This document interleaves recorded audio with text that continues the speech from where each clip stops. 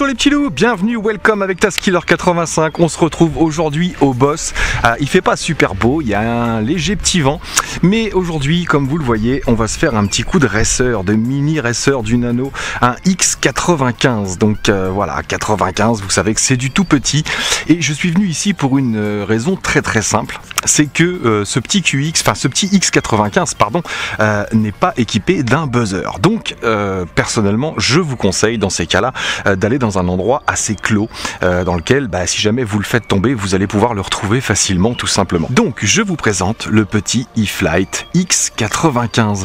Vous vous souvenez, on avait vu le X125 ensemble c'était un super petit engin qui marche plutôt bien. On est content hein, des produits e-flight. C'est vrai que bah, ils innovent euh, par leur euh, carénage, par exemple, ou par différentes petites choses.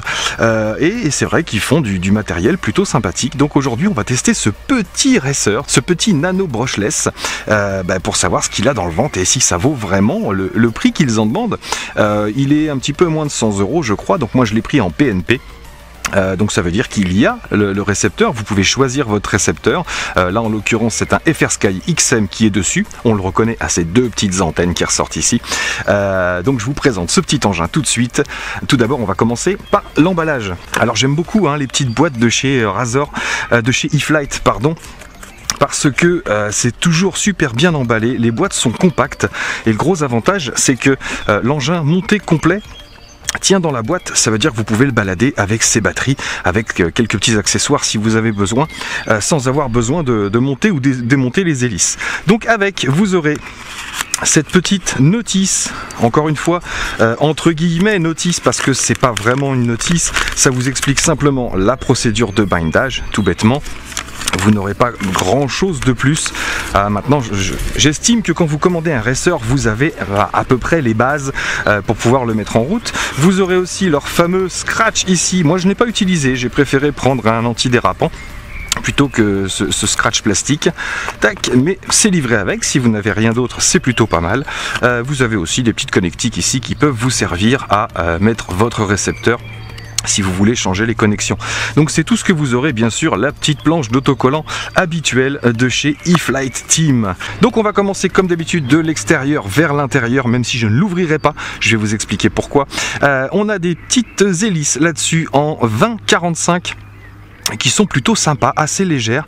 45, euh, c'est un bon angle, euh, donc ça suffira pour lui mettre un petit peu de pêche, je pense. On va voir ça tout de suite. Euh, des petits moteurs iX, donc de chez eFlight, bien sûr, en 1106 6000 kV. Donc des petits moteurs étudiés pour du 2S, n'allez pas me mettre du 3S là-dessus, même si vous en mourrez d'envie, parce que l'ESC lui aussi est conçu pour du 2S, donc c'est en 6 ampères. Donc petite caméra 600 TVL avec un VTX 48 canaux en 25 mW, comme je vous ai dit c'est un engin de proximité, donc c'est pas la peine d'avoir un VTX trop puissant puisque ça va consommer de la batterie et ça sert à rien, vous n'allez pas aller voler à, 250 mètres avec celui-ci. Euh, donc on a le petit récepteur XM dessus FR Sky. Donc je vais vous parler tout de suite de mes modifications. Comme j'avais fait sur le 125, j'ai simplement fait deux trous dans la canopie parce que le trou central sinon laisse sortir les deux petites antennes ensemble. Donc j'ai fait deux trous dans la canopie, c'est du TPU, donc ça se perce assez facilement. Bien sûr, vous la retirez pour percer, hein, elle n'est pas percée directement dessus. Euh, pour passer simplement euh, deux petites gaines thermo ici que j'ai soudées légèrement sur le milieu et un point de glu à l'intérieur pour que ça tienne assez raide de façon à ce que ça vienne pas dans les hélices. Le VTX lui, euh, une autre modif que j'ai apporté, le VTX sort ici et normalement sort droit et pendouille par là. Donc vous vous, en doutez, sur des acrobaties ou euh, enfin sur, le vol tout simplement, il y a des risques que ce petit, petite antenne VTX linéaire, j'insiste sur le linéaire encore une fois, ce n'est pas du polarisé, ce n'est pas du circulaire polarisé, donc il vous faudra des antennes linéaires sur votre masque bien sûr ou votre récepteur. Donc pour éviter qu'ils viennent toucher les hélices, lors d'acrobatie ou lors du vol, j'ai simplement fait un trou dans la petite queue du TPU pour passer un Colson, un Riesland, j'espère que vous le verrez à l'écran, de façon à le maintenir bien droit. Voilà. Euh, donc bah, e-flight, hein, si vous voyez ça, je pense que c'est une bonne idée. Pensez à sécuriser tout ce qui est antenne euh, sur vos engins parce que non seulement ça peut créer des chutes et des crashs, euh, mais en plus vous risquez d'abîmer les antennes de devoir les changer par la suite. Euh, voilà, donc on a une petite frame 3 mm euh, sur la frame principale. Euh, on a un JST à l'arrière avec du gros câblage. N'allez pas me mettre un XT30 là-dessus, c'est surtout, surtout pas la peine, sachant qu'on va rester en 2S de toute façon. Donc le, JST qui est fourni est plutôt pas mal. sinon voilà, on a une carte de vol en omnibus. Oui, je dis pas de bêtises. C'est une F3. donc le F3 suffit généralement beaucoup plus simple à programmer. Je n'ai pas mis à jour le firmware puisque ça fonctionnait parfaitement avec celui-là, même si je n'ai pas l'option pré-armement euh, sur ce genre d'engin, c'est moins grave, moins important, bien sûr, que euh, sur un gros appareil où vous devez avoir plus de sécurité. Là, si vous vous prenez les doigts dans les hélices, ça va bien vous fouetter, mais je pense pas que ça vous arrache un doigt. Bref, soyez prudent quand même, bien sûr. Donc voilà, bah écoutez, on a fait le tour. Euh, je vous ai parlé du VTX, du récepteur, de la caméra. Je pense qu'il n'y a plus qu'à vous montrer comment ça vole. Donc ça fonctionne en 2S. Oui, important, je vous parle de la petite sangle e-flight. J'adore ces petites sangles. Euh, moitié en cuir, là je pense que c'est du cuir, je ne sais pas. Mais en tout cas, avec euh, cette petite sangle cuir et la petite boucle en plastique, euh, bah, bien solide. On n'hésite pas à tirer pour bien coller la batterie. J'aime bien. Voilà, ça fait moins cheap que les choses qu'on voit d'habitude avec l'espèce de double scratch en plastoc ou en, ou en tissu très fin. Bref, j'aime bien la finition. On va voir ce qu'il vaut maintenant. Euh, je vous ai pas parlé ici une autre petite modif. Euh, j'ai découpé le TPU ici pour avoir un accès plus facile euh, au micro USB parce que je vous avoue que c'était pas évident de le rentrer même s'il y a déjà une précoupe ici.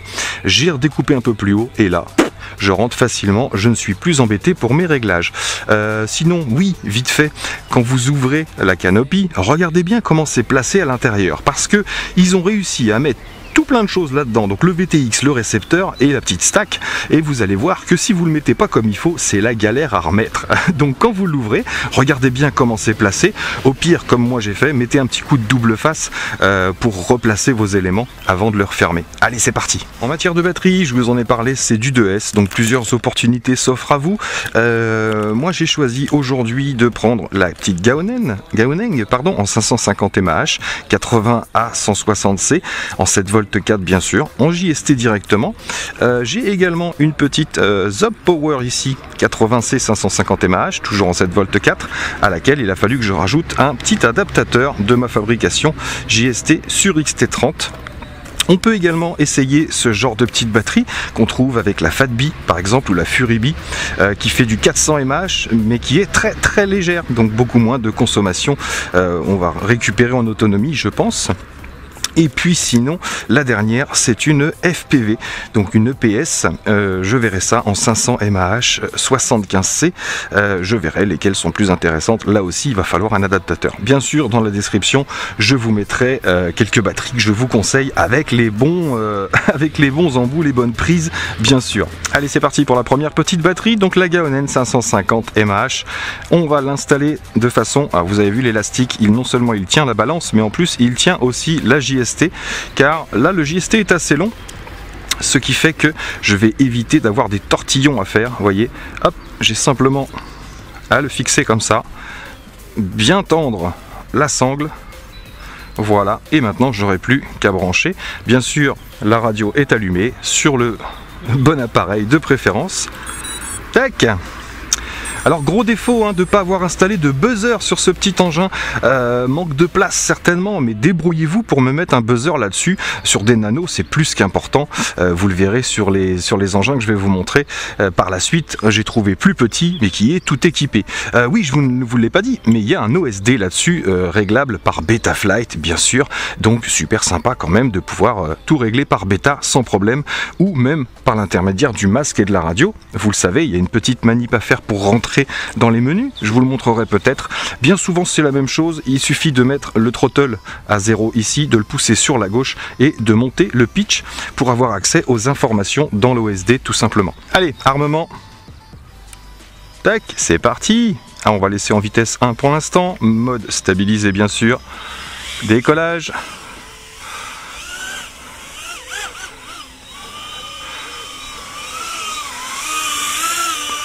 Bon, plutôt bonne stabilité, il maintient bien. C'est propre, pas de vibration apparemment dérangeante. On va passer tout de suite en vitesse 3. Tac. Alors bien sûr, je vous mettrai mes réglages bêta à la fin de la vidéo, comme d'habitude. Vous verrez mes PIDs, bien sûr.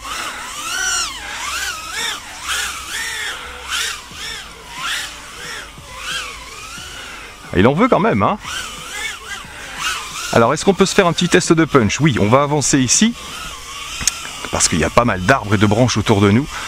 Hop, alors, petit test de punch, avec le Razor X95 dans 3, 2, 1... Alors bah écoutez, c'est plutôt raisonnable pour du 2S. Bien sûr, faut pas s'attendre à une torpille, c'est clair. Plutôt sympa. Alors on va se tester le mode horizon. Clac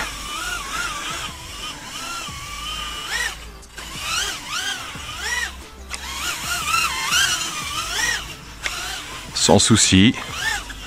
Bien réactif. J'ai mis des pids assez réactifs. Normalement.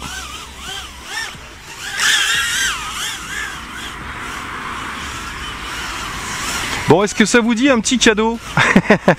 Est-ce que ça vous dit un petit concours? Bon, sous réserve bien sûr que je ne l'abîme pas. Tac Sous réserve que je ne l'abîme pas, et eh ben écoutez, je vais vous l'offrir ce petit drone. Donc n'hésitez pas à, à, mettre un like. Cette fois-ci, je réclame absolument un like, puisqu'on me l'a dit bien souvent. Il y en a qui participent au concours, mais qui ne like pas. Donc, je veux un like pour la participation à la vidéo. Euh, et puis un partage si vous voulez, ça c'est une option. Hop, vous n'êtes pas obligé, mais je veux au moins un like. Et puis euh, me donner simplement une raison pour laquelle vous voudriez ce petit Razor X95. Voilà, n'importe laquelle. Ça peut être une blague, ça peut être n'importe quoi. Je le veux euh, parce que je suis blond, par exemple. Allez, je vais le poser. Tac, et je vous explique les règles du concours. Tac Donc voilà, si vous voulez ce petit Razor X95, encore une fois, sous réserve que je ne le casse pas, puisque je vais faire une, euh, un petit test en FPV bien sûr, euh, et que je prenne pas un arbre en pleine face. Mettez-moi dans les commentaires si vous le voulez, je ferai un tirage au sort. Euh, mettez-moi un like, bien sûr, je verrai dans le tirage au sort s'il y a eu un like ou pas. Et bien sûr, une raison, valable ou pas, je m'en fous complètement, pour laquelle vous voulez ce petit Razor, tout bêtement. Et je ferai un tirage au sort d'ici 8 jours, 8-10 jours, je vous dirai ça dans la description. N'hésitez pas à aller faire un tour dans la description Bien sûr, comme je vous l'ai déjà expliqué, euh, il y a toujours mes liens d'affiliation dans la description, ainsi que les liens de mon matériel, les liens par exemple de la musique que j'utilise si la musique vous plaît dans ma vidéo. Vous avez absolument, et je me casse l'oignon pour ça, vous, avez absolument toutes les informations dans la description de la vidéo. Donc n'hésitez pas à aller y jeter un oeil. Vous avez même les réglementations ou les liens pour aller voir les réglementations de drone.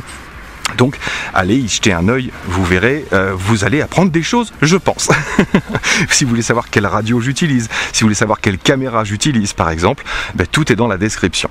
Donc voilà, ce petit concours, c'est lancé, si vous le voulez, et eh ben il n'y a plus qu'à participer. Allez, on se fait un petit tour en FPV, on va voir ce que ça donne. Donc comme je vous l'ai réexpliqué, c'est bien du linéaire l'antenne qu'il y a dessus. Donc pensez à mettre euh, une antenne ou deux antennes bâton, si vous avez, là vous serez sûr d'être en linéaire. Et si vous mettez un patch, comme celui qui est ici, euh, j'essaierai de vous remettre le lien dans la description. Mais sinon il y était, euh, vous avez le lien dans la vidéo du JEP que, que j'avais fait il n'y a pas très longtemps le JEP MX3 Sparrow. Euh, sinon, j'essaierai de vous les remettre. Donc, pensez à mettre des antennes en linéaire si vous voulez avoir une meilleure qualité d'image avec un émetteur qui est lui aussi en linéaire, bien sûr. Je vais tout de suite vous montrer comment accéder à l'OSD.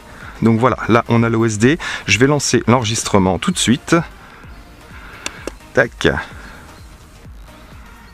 L'enregistrement est parti. Je vais pouvoir vous montrer comment rentrer dans l'OSD comme je vous disais. Donc le throttle au milieu, on le pousse sur la gauche ici et on pousse en avant. Tac Et voilà, vous avez accès au menu. je vous le mets à l'écran. Et ici, bah, vous vous déplacez dans le menu avec simplement le stick pour monter, descendre. Vous rentrez à droite ou à gauche si vous voulez naviguer. Voilà, et vous pouvez avoir accès bien sûr. Hop, je rentre par exemple dans Feature. Ici, on a la Black Box, on a le VTX si vous voulez changer les canaux. Let's strip, peu importe, parce qu'il n'y en a pas. Back, on va à droite, on revient. Bref, vous avez accès à pas mal de petites choses ici. Et quand vous avez fini, exit, tout simplement. Donc je ne vais pas rentrer dans tous les détails de l'écran OSD. On en est où au niveau batterie? 7 volts 5. Bon bah ça va. On n'a pas pourri la batterie. Allez, c'est parti pour un petit test. Allez, on va déjà finir cette batterie là. Vous le voyez là? Vous le voyez ou pas? Allez, c'est parti. Vitesse 3, mode accro, mise en route. Je suis en train de tondre la pelouse.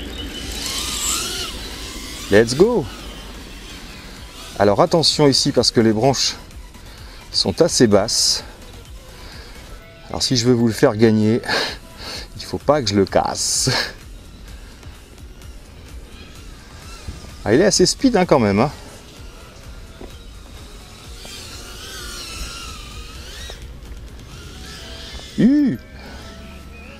Pas beaucoup d'espace pour faire des figures ici.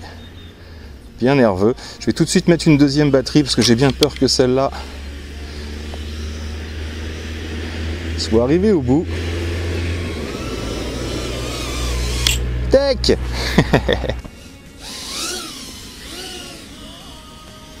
On a une bonne réactivité.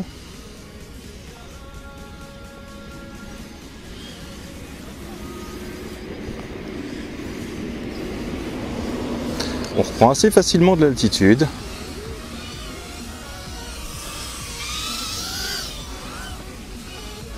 Alors je vais pas faire de folie, hein, je vous l'ai dit. Essayer de suivre un petit peu le chemin. Tranquillou pilou.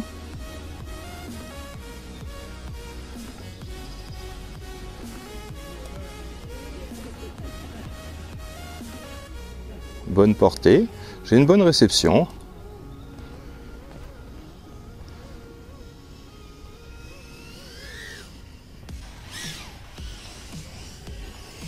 Je fais attention, j'ai un peu le stress, forcément.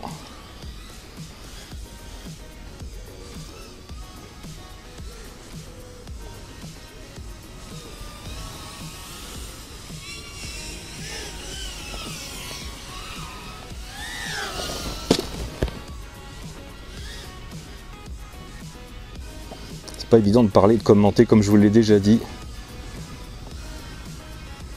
Allez, on va se faire un petit circuit comme si on était en, race.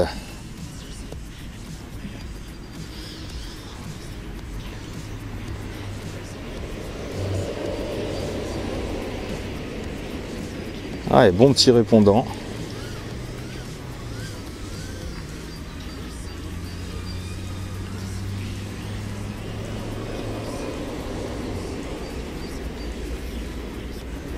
Touchette.